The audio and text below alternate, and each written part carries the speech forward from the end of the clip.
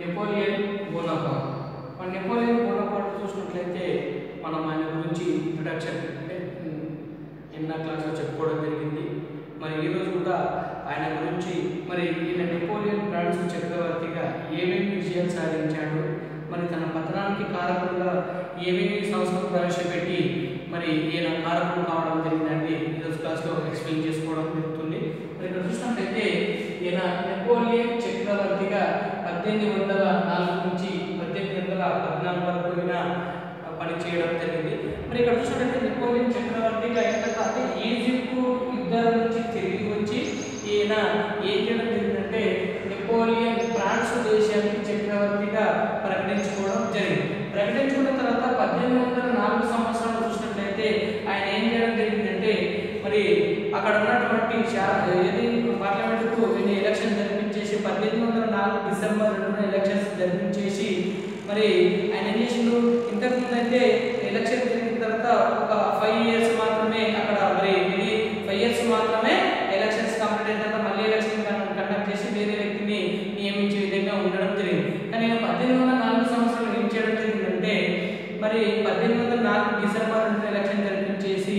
తాను నిరంతరం అంటే జీవితకాలం చక్రవర్తిగా ప్రకటించుకోవడం జరిగింది అంతటి అధికారాన్ని కైవాసం చేసుకున్నటువంటి వ్యక్తి నెపోలియన్ చక్రవర్తి మరి ఈయన డిసెంబర్ రెండు పద్దెనిమిది వందల నాలుగు సంవత్సరంలో మరి శాసనసభ ఈ సభలకు ఎలక్షన్ జరిపించేసి తన తర్వాత వారసుడు కూడా ప్రకటించేటటువంటి అధికారం కూడా ఎవరంటే ఈ నెపోలియన్ చక్రవర్తి పొందడం జరిగింది ఈ విధంగా చూస్తే నెపోలియన్ చక్రవర్తి చూసినట్లయితే ఈయన ఏమంటారు పద్దెనిమిది వందల నాలుగు నుంచి మరి పద్దెనిమిది వందల పది వరకు ఈయన నిరంతరం యుద్ధాల్లో పార్టిసిపేట్ చేయడం జరిగింది ఈ నిరంతర యుద్ధంలో పార్టిసిపేట్ చేసిన తర్వాత పద్దెనిమిది వందల నాలుగు నుంచి పద్దెనిమిది వందల నుంచి పది వరకు పది నుంచి పద్నాలుగు వరకు మరి ఏదైనా ఇంగ్లాండ్ దేశాన్ని ఇంగ్లాండ్ దేశాన్ని దండించబోయి భూఖండ విధానం ప్రవేశపెట్టి తన పతనానికి కారణంగా ఈయనే కావడం జరిగింది. ఇది చూస్తుంటే నెపోలియన్ చక్రవర్తిగా ఈ విధంగా మరి పద్దెనిమిది పద్దెనిమిది వందల నాలుగు నుంచి పద్దెనిమిది వందల పద్నాలుగు వరకు ఈయన పనిచేయడం జరిగింది. ఇక్కడ చూస్తే నిరంతర యుద్ధాలు పద్దెనిమిది వందల నాలుగు సంవత్సరాలు ఇంగ్లాండ్ ప్రధాని అయినటువంటి యంగర్ ఫీట్ ఆయన ఆయన ఏం చేయడం జరిగిందంటే కంప్లీట్గా ఫ్రాన్స్ దేశాన్ని ఫ్రాన్స్లో ఉన్నటువంటి నెపోలియన్ కంప్లీట్గా ఓడించాలనే ఉద్దేశం చేత ఆయన ఏం చేసిందంటే ఒక తృతీయ ఒక కూటమి ఏర్పాటు చేయడం జరిగింది. ఆ కూటమిలో రష్యా ఆస్ట్రియా రష్యా ఆ, ఇవన్నీ దేశాలు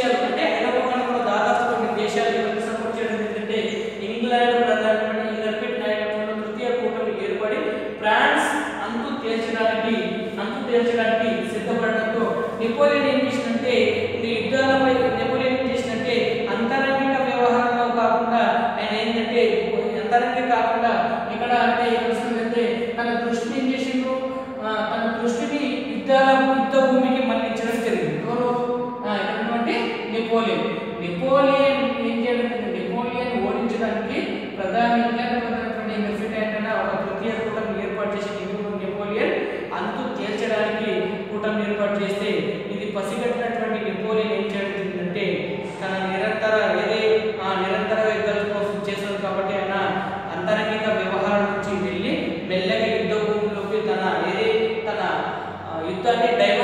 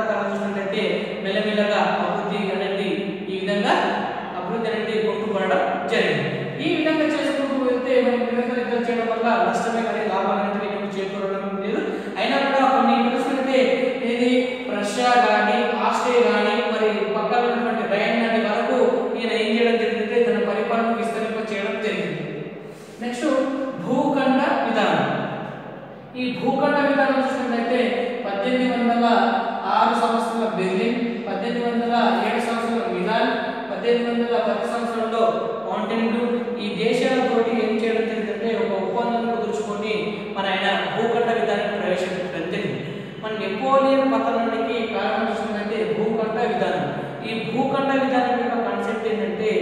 ఎవరే కానీ ఇంగ్లాండ్ను ఈయన ఏంటంటే తన శత్రు దేశమైనటువంటి ఇంగ్లాండ్ను దండించబోయి భూఖండ విధానం ప్రవేశపెట్టి తన పతనానికి కారణంగా ఈయన కావడం చెప్పడం జరిగింది ఎందుకు అంటే ఈ భూఖండ విధానం యొక్క కాన్సెప్ట్ ఏంటంటే ఎక్కువగా వాణిజ్యంపై ఆధారపడినటువంటి దేశం ఏంటంటే ఇంగ్లాండ్ దేశం ఆ ఇంగ్లాండ్ దేశాన్ని జయించడానికి ఫ్రాన్స్ దగ్గర నౌకాబలం అనేది లేదు నౌకాబలం లేదు కాబట్టి ఏదో విధంగా ఓడించాలని అయినా కూడా ఆ దేశాన్ని దండించడానికే డిసైడ్ కావడం జరిగింది నెపోలియన్ ఇట్లా ఈ ఏం చేసిండు కొన్ని దేశాలకు సపోర్ట్ చేసి ఆ దేశాలకు ఆజ్ఞ జారీ చేయడం జరిగింది ఇంగ్లాండ్ దేశానికి చెందినటువంటి నౌకలు మరి మిత్రదాని ఏది ఆ, ఫ్రాన్స్ దాని మిత్ర రాజ్యాలైనటువంటి రాజ్యాలు ఆగినట్లయితే ఆ ఆ నౌకల్లో ఉన్నటువంటి వాణిజ్యాన్ని మేము సంగ్రహిస్తాము అని ఈ భూఖండ విధానం తీసుకురావడం జరిగింది అదే కాన్సెప్ట్ తోటి ఇక్కడ చూసినట్టే ఇంగ్లాండ్ ప్రధానటువంటి ఇంగ్లాండ్ రాజు ఇంగ్లాండ్ ప్రధాని ఏం చేయడం జరిగింది ఆయన కూడా ఆజ్ఞ జారీ చేయడం జరిగింది ఏమని ఏదో విధంగా మరి ఐరోపా ఖండంలో ఎక్కువగా ఇంగ్లాండ్ ఇంగ్లాండ్ వాణిజ్యంపైనే ఎక్కువ దేశాలు ఆధారపడి ఉండడం జరిగింది మరి ఇంగ్లాండ్ జయించడానికి ఫ్రాన్స్కు అవసరమైనటువంటి నౌకాబలం లేదు మరి లేదు కాబట్టి ఏదో విధంగా ఆ, కుట్ర కుట్ర- ఏదో కుట్రతోటి మరి ఇంగ్లాండ్ దేశం జయించడానికి నెపోలియన్ కంకణం కట్టుకోవడం జరిగింది మరి ఈ ఇక్కడిక్కడ ఏంటి ఇంగ్లాండ్ ప్రధాని ఏం చేయడం ఏమి శాసనం తయారు చేయడం జరిగిందంటే మరి ఇంగ్లాండ్ అంటే ఫ్రాన్స్ దేశం ఫ్రాన్స్ దేశానికి సంబంధించినటువంటి దాని మిత్ర రాజ్యాలు ఏదైతే ఉన్నాయో అవన్నీ ఖచ్చితంగా ఏదో విధంగా ఐరోపా ఖండానికి చేరాలంటే ఖచ్చితంగా ఇంగ్లాండ్ ఓర ఇంగ్లాండ్ దాని మిత్ర దేశాలతోటే వెళ్ళాల్సి ఉంటుంది. ఆ మిత్ర దేశాలతో వెళ్ళినప్పుడు వెళ్ళేటటువంటి సమయంలో ఏ దాని దాని మిత్ర దేశాల్లో ఒకటే ఇక్కడ ఆగినట్లయితే మేము కూడా ఫ్రాన్స్ దేశానికి సంబంధించిన మిత్ర దేశాల్లో ఉన్నటువంటి ఏదైతే వాణిజ్యం ఉందో అవన్నింటినీ మేము సంగ్రహిస్తామని ఎవరు చెప్పడం జరిగిందంటే మరి ఇంగ్లాండ్ ప్రధాని చెప్పడం జరిగింది అంటే మరి ఇంగ్లాండ్ జయించడానికి అవసరమైనటువంటి నౌకాబలం మరి ఎవరికి నెపోలియన్కి ఫ్రాన్స్ దేశం లేనప్పుడు కూడా ఆయన జయించడానికి ఆయన డిసైడ్ కావడం వల్ల మరి తర్వాత పరిణామాలు ఏమైందంటే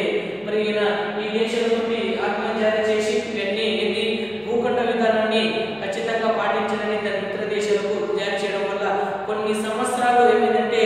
ఆర్థికంగా మరి ఆ దేశాలు ఏదైతే ఏది ఫ్రాన్స్ తన మిత్ర దేశాలు ఇంగ్లాండ్ దేశం నుంచి వచ్చేటటువంటి ఏది సరుకులు వాణిజ్యం అనేది స్తంభించుకోవడం వల్ల ధరలు అనేటివి ఆకాశాన్ని అంటడం జరిగింది ఇంకా ధరలు అనేటివి ఆకాశాన్ని అంటడం వల్ల అక్కడ ఉన్నటువంటి మనం ఏదో విధంగా ఏది ఆ, మెల్లమెల్లగా లోపల లోపల ఏం కావడం జరిగిందంటే భూఖండ విధానానికి స్వస్తి చెప్పి ఇక ఇంగ్లాండ్ తోటి మంచి సంబంధం పెట్టుకోవడానికి ప్రయత్నం చేస్తున్నాయని తెలియడం జరిగింది అయినా కూడా మీరు ఖచ్చితంగా భూఖండ విధానం ప్రవేశ ప్ర- అమలు పరచాలని కఠినంగా ఆయన అమలు చేయడం జరిగింది వీరిని వ్యతిరేకించడం జరిగింది ఆ విధంగా వాణిజ్యము అన్నీ స్తంభించిపోవడం వల్ల ఆ దేశంలో ఉన్నటువంటి ప్రజలు అనేటి వాళ్ళు ఆకలితో అలమటించుకోవడం జరిగింది అని చెప్పడం జరిగింది. భూఖండ విధానం. నెక్స్ట్ పోప్ను నిర్బంధించడం. మరి ఆనాటి కాలం చూసుకుంటే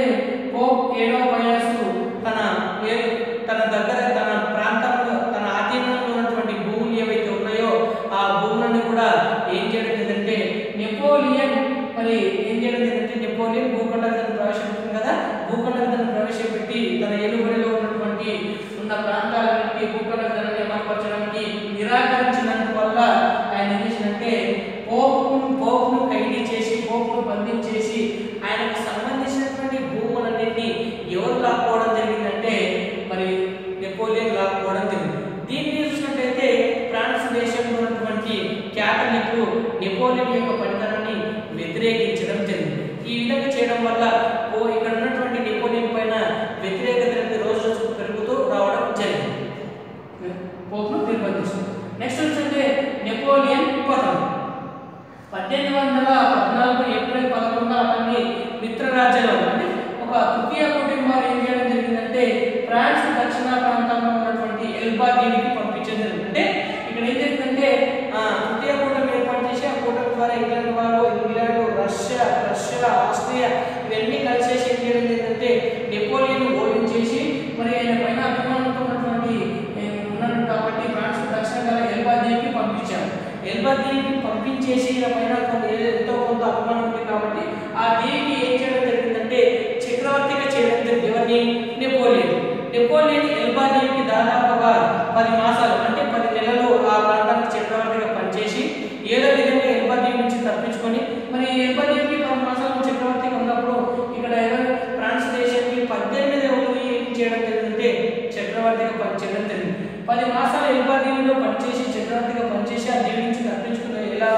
પલિત તરીકે ટ્રાન્સ પ્રવચન ટ્રાન્સ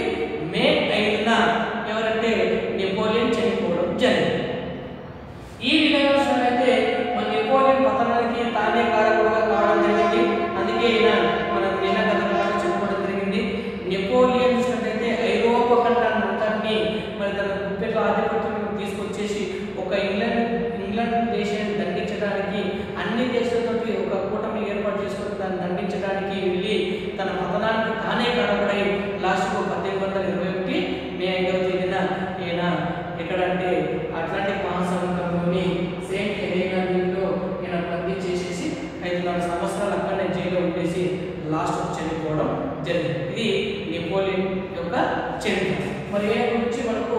ఏది ఎగ్జామ్ వస్తున్నట్టయితే దాదాపు ఈయన గురించి ఒక మనకు ఎంత పదిహేను నేను ఈ క్వశ్చన్ అనేది ఆన్సర్ రావడం జరుగుతుంది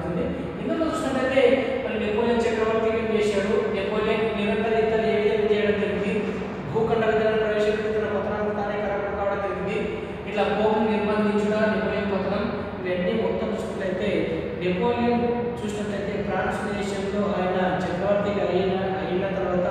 ఒక మంచి అభివృద్ధి చెందడానికి ఆయన అనేక నిరంతరం ఏది ప్రణాళికలు ప్రవేశపెట్టి ఉన్నత స్థితిలో తీసుకొచ్చి లాస్ట్